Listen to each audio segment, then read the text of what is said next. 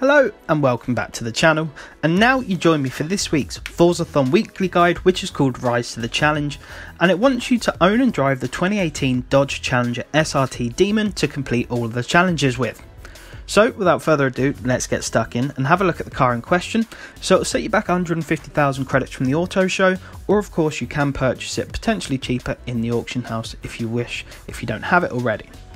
Now, the first challenge here wants you to keep the car stock, which is why I haven't brought a tune up already, uh, and win an A class drag race. So here you can see I've filtered the map just to show the drag races. I'm not going to bother to try and pronounce this one, but this is a drag strip that I used.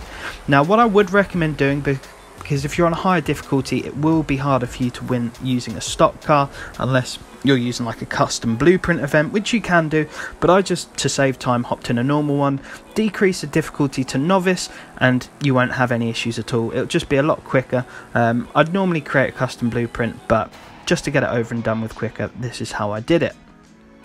Now for the next challenge here, it wants you to tune the car to S1 class and win another drag race again with it. So again, really easy. This time, now I have a tune for you guys to use.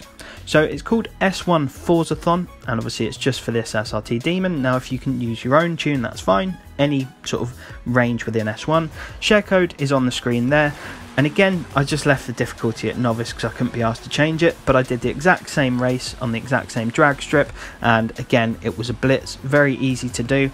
Like I said before, you can probably do someone's custom blueprint if you wish to do so, but I just found it easier to hop in a standard race and decrease the difficulty and then increase it again once you've finished it all. Although, to be fair, once you've got the car tuned, you can, of course, increase difficulty.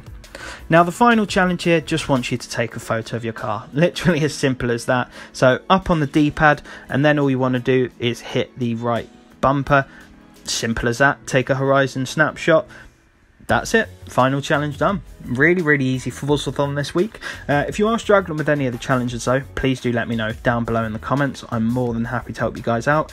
Don't forget to stick around as well because I'll be helping you guys with a guide for this week's collectibles challenge and bringing out a full three star guide for the Horizon Drift Club Mexico story as well.